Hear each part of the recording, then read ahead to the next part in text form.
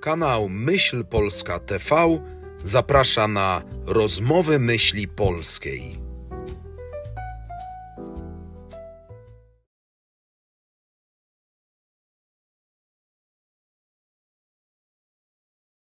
Może Chiny przygotowują jakąś ucieczkę do przodu, dlatego że widzimy, to już właściwie przy, nawet przy naszej ostatniej rozmowie było to widoczne, e, gdzie podsumowaliśmy maj. Następnie doszło do tej wizyty, oczywiście, gdzie Polska była stroną pasywną. Andrzej Duda, prezydent Andrzej Duda został wezwany jako chyba jedyny, jedyny przedstawiciel polskiej klasy politycznej, którego Chińczycy mogli tam wezwać i rzecz jasna byliśmy stroną pasywną. E, natomiast w tej chwili widzimy e, chińską ofensywę dyplomatyczną. Ucichła na dniach sprawa na granicy polsko-białoruskiej. Mówi się, mówi się mm, jasno o tym, że była to interwencja dyplomatyczna ze strony Chin, ale też e, w ciągu kilku ostatnich dni e, wyszło, że Chińczycy również interweniują w sprawie Palestyny. Mowa o historycznym pojednaniu, jak podaje nawet taki portal jak interia wydarzenia. 14 palestyńskich ugrupowań, w tym Hamas i Fatah, zawarło porozumienie dotyczące jedności Palestyny. Poda podała we wtorek chińska stacja CCTV. Nie wiadomo jednak, jaki teraz, będzie re rezultat przyjęcia. Teraz jak, mm. teraz jak rozmawiamy, Kuleba, minister spraw zagranicznych Ukrainy, bodaj poleciał, jest w Chinach. Chiny e, nie tylko w temacie Palestyny, o której za chwilę powiem, przejawiają już da, od dawna są bardzo, bardzo prowadzą asertywną politykę. To Chiny są głównym konsumentem e, i e, patronem elit afgańskich pasztuńskich elit afgańskich i to one przede wszystkim starają się zapełnić lukę po e, haniebnie, e, po Amerykanach, którzy haniebnie uciekli w roku 2021. To Chiny w różnych formatach właśnie prowadzą, próbują doprowadzić do stworzenia front, rządu jedności narodowej, ale oczywiście Pasztuni tam są wiodącą siłą polityczną i z nimi rozmawiają nie tylko oczywiście Chiny, ale i, ale i ale i Federacja Rosyjska. Chiny, Chiny przedstawiły, jak Państwo wiecie, także program pokojowy, e, e, starają się doprowadzić do program pokojowy dla Ukrainy, rozwiązania konfliktu e, ukraińskiego.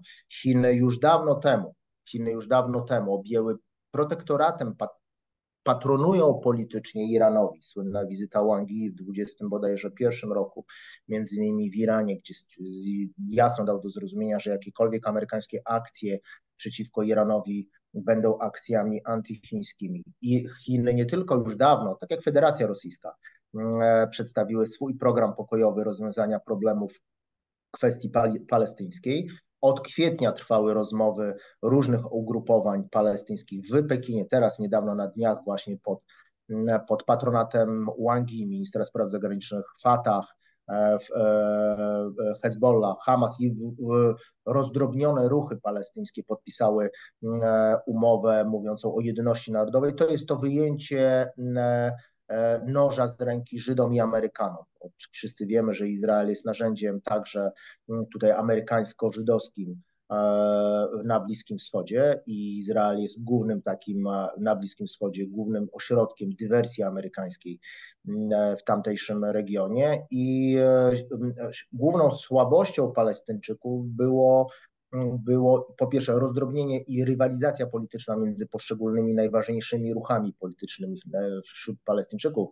Fatah, Hamas, Hezbollah, spłuceni ze sobą, ich rozgrywał oczywiście umiejętnie Izrael, Pomijam kwestię na pewno, na pewno głębokiego zagenturalizowania tychże ruchów przez Izrael, ale to, co zrobiły Chiny, to jest właśnie e, pomieszanie planach, e, w planach e, żydowsko-amerykańskich co do co do tego regionu, żeby wciągnąć przede wszystkim, chcą, prowokują już od lat, Izrael prowokuje Iran do tego, żeby mocniej i zdecydowaniej zaangażował się politycznie i militarnie przeciwko Izraelowi.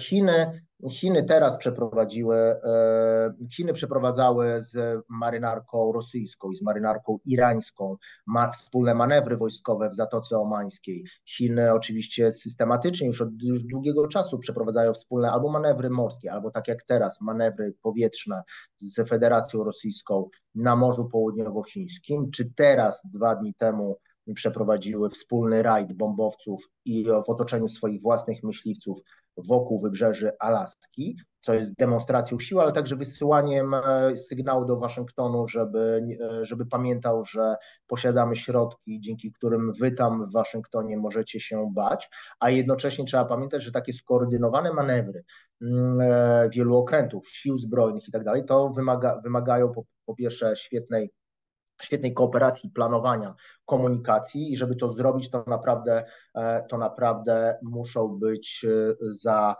strony muszą zadbać o wiele środków i o wiele sposobów, żeby tutaj to wszystko miało ręce i nogi i to jest bardzo, to nie są po prostu tylko takie manewry, że zrobiono, że zrobili, popływali i pokazali, nie, tam to są zbyt złożone, złożone e, procesy, aby nie, nie podziwiać Chińczyków. E, Rosjan czy na przykład Irańczyków, że mogą doprowadzać do tego typu wspólnych e, ćwiczeń. Cała kompania sił specjalnych, jak wiemy, nadal, nie, niedawno opuściła Białoruś. Była obecna i brała udział w ćwiczeniach na, na Białorusi wzdłuż granicy z, z Polską.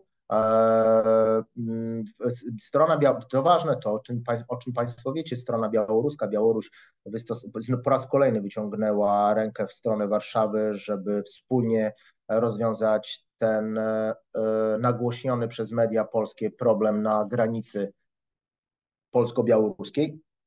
Między innymi o, o tym problemie rozmawiał prezydent Xi podczas wizyty u niego e, ukraińskiego męża stanu ukraińskiego patrioty, niewybitnego intelektualnie i duchowo, ale, ale, ale dużego patrioty ukraińskiego, czyli Andrija Judenki, który mm, uchodzi tutaj, polska nazwa tego osobnika to Andrzej Duda, mm, więc tam e, Chiny spytały się po pierwsze, czy wy jesteście gotowi na to, że e, wasz kraj e, stanie się teatrem działań wojennych, zadano tam pytanie temu Judence, ale on ma to w nosie, on przede wszystkim tam pojechał, e, tak jak wszędzie jeździ Judenko, to dba o interesy swojej ojczyzny prawdziwej, czyli Ukrainy, ale musiał wysłuchać tego, co mieli do powiedzenia mu Chińczycy i zapewne powiedzieli, spytali się Chińczycy, czy wy gotowi jesteście do tego, żeby spalić waszą własną ziemię, bo na terytorium waszym i na terytorium Białorusi jeśli dojdzie do eskalacji konfrontacji w Europie Środkowo-Wschodniej, to te dwa kraje poniosą największe straty. Czy wy, Polacy, jesteście na to gotowi? Czy wy, Polacy, w końcu pytali Chińczycy, Andrija Judenkę, Ukraińca, czy wy Polacy e, nie chcecie zarabiać na własnym położeniu geostrategicznym, że jesteście kraj, e, krajem tranzytowym, przez który wiodą wszystkie najważniejsze, najlepsze lądowe tras, szlaki transportowe, nie jesteście tym zainteresowani, nie, nie jesteście zainteresowani deeskalacją, przecież widzicie, co się dzieje, co Amerykanie, że Amerykanie, jeżeli są, y, y, mogą być gotowi do tego, żeby doprowadzić tam do wybuchu na przykład zlokalizowanego, choć dobrze wiemy, że nie da się zlokalizować e, e, konfliktu jądrowego z użyciem taktycznej broni jądrowej. Czy wy jesteście na to gotowi? Czy wy w ogóle wiecie i rozumiecie, o co chodzi w tej grze? Czy w ogóle rozumiecie, że stoicie tuż nad przepaścią i za chwilę Waszyngton was tam strąci? Pan Andrii Judenko, ukraiński mąż stanu, ukraiński patriota, ma, miał w nosie te pytania. Najważniejsze, żeby po prostu e, przyjechać do Polski i powiedzieć, że głównym owocem tejże wizyty e, będzie wspólny słownik polsko-chiński, chińsko-polski. E, takie mamy e, elity. E, tam także Chińczycy pytali tych naszych renegatów, renegatów i zdrajców, którzy tam do nich przyjechali z Warszawy, czy wy nie chcielibyście na przykład w przyszłości, czy wy nie rozumiecie, że cała mechanika układów międzynarodowych się zmieniła? Centra, geopolityczne centra przyciągania zmieniły się. Wy Polacy, mówili Chińczycy, jesteście tam przykuci do tego umierającego trupa, do tego zdychającego na naszych oczach golema, który słabnie gospodarczo, słabnie militarnie, czyli do Stanów Zjednoczonych, do jakiegoś tam NATO. A może chcielibyście dołączyć do BRICS czy do Szanghajskiej Organizacji Współpracy? Nie będziemy tutaj mówili e, widzom Państwa kanału oczywistych oczywistości, że miejsce Polski, biorąc pod uwagę nasze położenie, nasz potencjał, natychmiast powinno być e, przewektorowane. Powinniśmy oczywiście mm, dołączyć do globalnej większości, do globalnego południa, do globalnej większości, stać się natychmiast członkiem e, takich instytucji jak BRICS, Szanghajska Organizacja Współpracy, banałem, prawdą powszechnie znaną, mm, e, frazesem wręcz politycznym jest natychmiastowe wyjście z opuszczenia Unii Europejskiej czy tej bandy gangsterskiej mm, o nazwie NATO. Zatem e, tutaj w Polsce po tej wizycie Andrzeja Dudy pewne rzeczy zaczęły się dziać niejako no, niezależnie od nas, ponieważ no, Chiny, Chiny dały do zrozumienia też w pewien sposób Zachodowi, że gdyby myśleli sobie o zaostrzeniu sprawy na Ukrainie, to jednak Chińczycy czy my tego chcemy. To jest bardzo przykre w ogóle wypowiadać takie rzeczy, ale czy tego chcemy, czy nie chcemy, Chińczycy wiążą jakieś nadzieje z terytorium, na którym leży Polska. Tylko tyle i aż tyle. To jest przykre, ale właśnie to, ten fakt może nas ocalić od zagłady, od przewalenia się wojny przez nasze terytorium. Natomiast y, niebywałą sprawą jest to, że tu w Polsce strona rządowa no, idzie kompletnie pod prąd tej, e, temu ruchowi ze strony Chińskiej Republiki Ludowej, które prowadzącemu klasyczną dyplomację.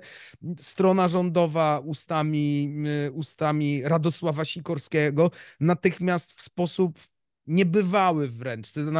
W ogóle ja nie, nie przypominam sobie, żeby jakiekolwiek poważne państwa po, pozwalały sobie na takie uchybienia de, y, dyplomatyczne, jak właśnie tego typu wystąpienia. Głowa państwa, bądź co bądź Polska, jedzie i ustala coś i deklaruje coś, deklaruje chęć przystąpienia Polski do tego planu jednego pasa, jednej drogi na przykład, co, no, co wprost przekłada się na nasz wspólny interes właśnie BRICS-u, e, Chin i, i, i Rzeczpospolitej, a kilka dni później występuje nasz minister spraw zagranicznych i bombarduje kompletnie e, tę koncepcję, mówiąc, że w ogóle nie ma mowy o czymś takim. Czy to, to jest to jest rzecz niebywała i to jest kontynuacja sprowadzania zagrożenia na nas.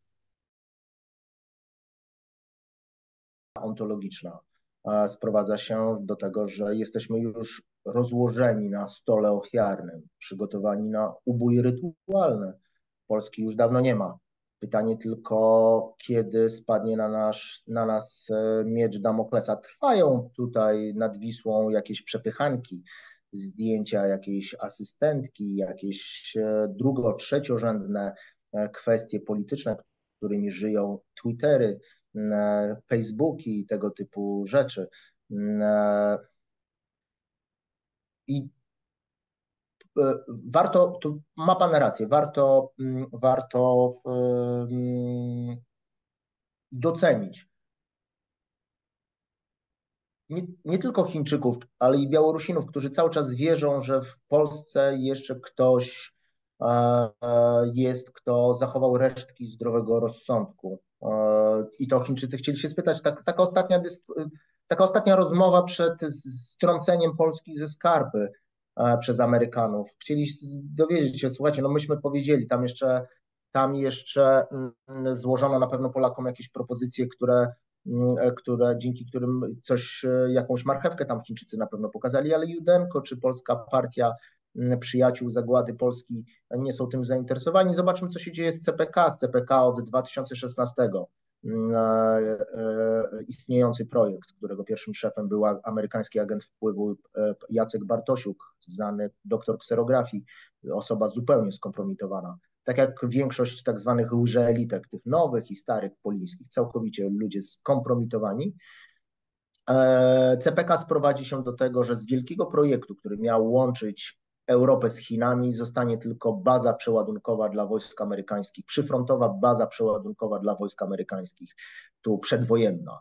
E, ten horyzont wojenny się nam do nas się zbliża i tak jak powiedziałem, ten jeździec apokalipsy, czwarty, śmierć, pokazany nam w Paryżu, wielce mówi o tym, że że Europę czekają naprawdę ciężkie czasy. Białoruś, nie, Białoruś o tym wie, Moskwa też o tym wie, w związku z tym ten gest nowego ministra, pana Ryżankoła, nowego ministra spraw zagranicznych Białorusi, gest Białorusi, aby, mm, aby e, omówić wspólnie kwestię granicy, została przez Polskę odrzucona. Polska żądała, żądała. To jest właśnie ta skala polityki polskiej. E, i ten, ten poziom polityki polskiej. Od Białorusi żądała uwolnić Poczobuta, e, renegata białoruskiego. E, zdrajcy narodu. Uwolnijcie zdrajcę narodu białoruskiego. Poczobut, tak jak wielokrotnie mówiłem, powinien Panu Bogu dziękować. Panu Bogu, tak jak e, Raman Pratasiewicz. Powinien Panu Bogu dziękować, że żyje na Białorusi, a nie w Stanach Zjednoczonych. Bo w Stanach Zjednoczonych za tę antypaństwową, wywrotową robotę przeciwko Stanom Zjednoczonym, dostałby komorę gazową albo dożywocie. A poszedłby na pewno na współpracę, z, z, współpracę zesmarkałby się, wsypałby wszystkich i dostałby tylko 30 lat ciężkiego więzienia na betonowej pryczy. A tu dostał jakieś tam kilka latek zdrajca i renegat. Ci Białorusini, e, jak mówię do, Białorus do białoruskich przyjaciół, że wtedy a cztery lata mina, mijają już od e, rocznicy maj, próby zmajdanowienia Białorusi. Pamiętamy sierpień 2020 rok wygrany przez, przez pana prezydenta Aleksandra Łukaszenkę, e, wybitnego białoruskiego męża stanu, patriotę i chyba jednego z najwybitniejszych w ogóle polityków współczesnych. Wielokrotnie mówię o, o tym, że my Polacy cenimy pana Łukaszenkę nie tylko i zazdrościmy Białorusinom takiego prezydenta nie dlatego, że nie tylko dlatego, że dba o interes Białorusinów, państwa białoruskiego i narodu białoruskiego, ale przede wszystkim dlatego, że jest zwyczajnym, normalnym człowiekiem, jest prawdziwy, jest autentyczny. Więc cztery lata mijają już od próby zmajdanowienia, mm, e, zmajdanowienia mm, Białorusi. E, I Polska, Polska mm, nie powinna być zaskoczona. Zdradziecki rząd Morawieckiego, zdradziecki rząd Tuska i poliniactwo, które wierzy w brednie na temat Białorusi, nie powinny być e,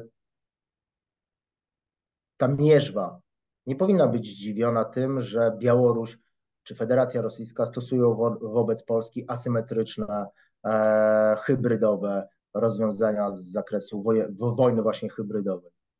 Przecież to jest tylko i wyłącznie minimum, niezbędne minimum wobec tego, co Polska od lat, jaką politykę Polska prowadzi wobec Białorusi. Polska, e, politykę, która w ogóle neguje podmiotowość Białorusi, neguje legitymizm władz białoruskich i w ogóle neguje jakiekolwiek szanse porozumienia, jakiejkolwiek wspólnej polityki, jakiekolwiek, jakiegokolwiek porozumienia. I te żądania Warszawy, czyli uwolnić Poczobuta, zaniechanie działań hybrydowych na granicy, wydania zabójcy polskiego żołnierza są wzięte jakoś z sufitu, bo abstrahują od źródeł tego konfliktu.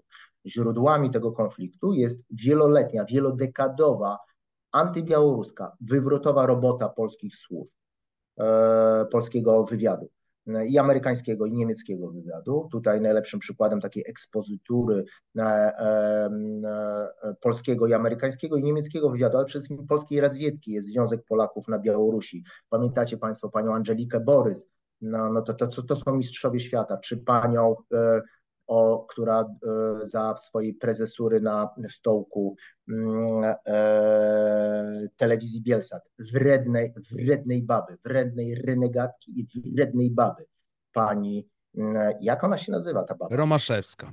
Romaszewska, ta Romaszewska, teraz e, złodzieje z Platformy mm, pokazują, tacy sami jak ona, pokazują, że podpisywała jakieś dziwne, śmieszne, niepotrzebne tej telewizji e, umowy, które naraziły na koszt nasz podatnika. Nie dość, że miała e, jak u Pana Boga za piecem, to klasyka trzeciej RP, to musiała się jeszcze dorobić w jakiś nieczysty sposób na boku.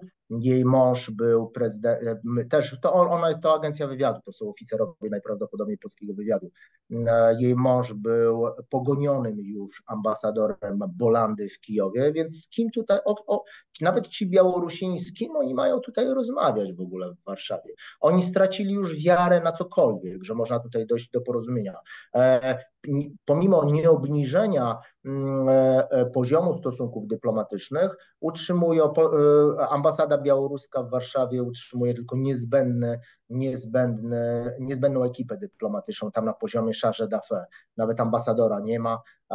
To pokazuje, jak Polska stawiając mur na granicy z jednym z najważniejszych, tak naprawdę z najważniejszym sąsiadem obok Federacji Rosyjskiej, e, pokazała jak, że e, wyzbywa ten mur na granicy to jest dowód dla całego świata.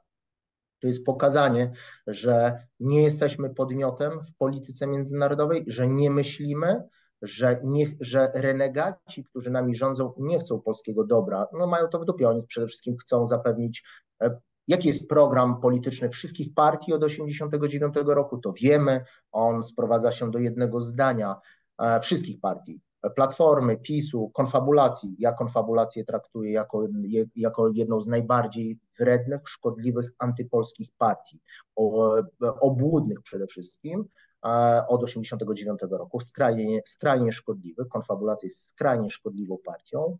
Mm, moje zawołanie, mm, takie fraza polityczna, tak skromnie, gdzieś w głębi swojego serca, tak tuczę sobie, że może kiedyś zostanie ta fraza polityczna, nawet w, we łbach wyznawców konfabulacji. Ta fraza brzmi głupi i kłamliwy jak konfabulasta.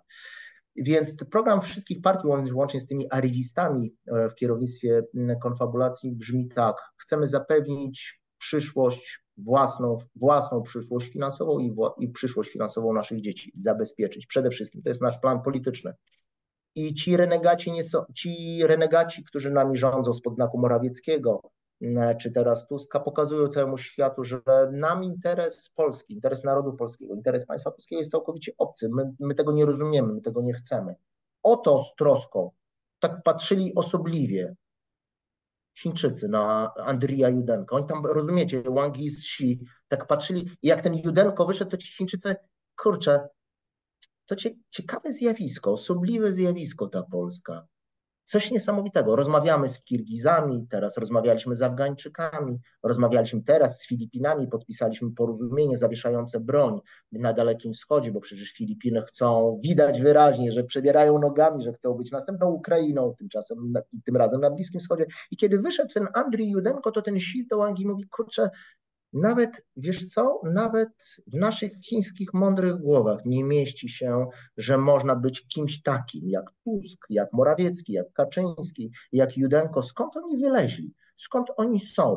Nasze przekleństwo polega na tym, tak jak w 1939 roku, że e, e, kierownicy innych państw, słusznie zakładając, że jeśli Polacy pozwolili i pozwalają na to, aby tacy renegaci, takie przybłędy, tacy kretyni nimi rządzili, to w takim razie, tak jak zakładał to Adolf Hitler i inni, Churchill, Stalin, to w takim razie Polacy jest, jest, e, są narodem idiotów, skorumpowanych, zbydlęconych idiotów i jak bydło należy ich e, traktować. Niestety. Pytanie do Was wszystkich i do Państwa, do nas wszystkich, którzy interesujemy się polityką, co my z tym właściwie chce, chcielibyśmy zrobić? Co, jaki, jaki jest e, nasz cel. E, dlatego, że tak jak powiedziałem, stoimy u zarania poważnych przełomów w Europie. Prawdopodobnie czekają nas e, cała sieć, cały cykl rewolucji w Europie. Tak jak wielokrotnie mówiłem, nie interesuje mnie, średnio mnie interesuje los rewolucji w Holandii. Choć to jest blisko i powinienem być zainteresowany, żeby Europa w końcu się przebudzała, ale autentycznie się przebudzała. Natomiast to od nas zależy tu w Polsce, czy pozwolimy na to, że jeżeli dojdzie do takiego, do takiej rewolucji, której elity ewidentnie się boją, o tym mówi każdy, od Bidena, który mówi, że przemoc, przemoc i przewrót są niedopuszczalne w demonokracji, a my mówimy, że dlaczego nie, jak mamy dojść do władzy. Tylko, tylko my tu w Polsce musimy zadbać o to, że kiedy to się stanie, zadbać szybciej niż później, żeby jak największa liczba osób była politycznie głęboko uświadomiona, żeby nie dawała się wsadzać na te e, dobrze brzmiące, wydawałoby się sympatyczne zajawki, ściemy w rodzaju konfabulacji. Wcześniej była to Liga Polskich Rodzin. Kto pamięta Romana Giertycha, większego od pana, większego jak cały Grudziądz e, e, Narodowego Demokraty, NDK, e, nacjonalisty. Gazeta Wyborcza, pamiętamy, straszyła wszystkich czytelników Romana, Romanem Giertychem. Kto pamięta, jak wściekłe dziewuchy swego, dawno, dawno temu, w roku 2006 wrzeszczały pod Ministerstwem Edukacji Narodowej. Pan Roman Giertych był ministrem edukacji narodowej w pierwszym rządzie Kaczyńskiego. Giertych do wora, wór do jeziora. Dzisiaj Roman Giertych wiadomo, że jest już poprawnie myślącym, prawidłowo myślącym, tak jak Raman Pratasiewicz. To ja tylko Białorusi. przepraszam, a propos Romana Giertycha, no muszę wtrącić, że to jest wyjątkowo przykry przypadek, ponieważ e, tu nasi czytelnicy i widzowie doskonale pamiętają, że no ma wybitnego ojca i wybitnego dziadka. Miał Jędrzeja i Macieja Giertycha ludzi, którzy położyli podwaliny pod współczesną myśl narodową i, i to i to nie byle jaką myśl, więc to jest wyjątkowo przykry dla naszego środowiska przypadek. E, więc od nas, panie Bartoszu, od nas wszystkich zależy, czy jeśli już dojdzie do tego, do tego zaczynu, do tego buntu, na ile on będzie prawdziwy i realistyczny. Oby się i zgodny z interesem narodu polskiego. Oby nie skończyło się tak, jak w 1918 roku, że my tutaj coś zaczniemy robić, będziemy wierzyć, a pociągiem tak jak motorówką do Stoczni Gdańskiej, tak samo pociągiem Niemcy przywlekli w listopadzie 18 roku dżumę z Magdeburga. E, ojca śmierci II Rzeczpospolitej, czyli pana Józefa Piłsudskiego.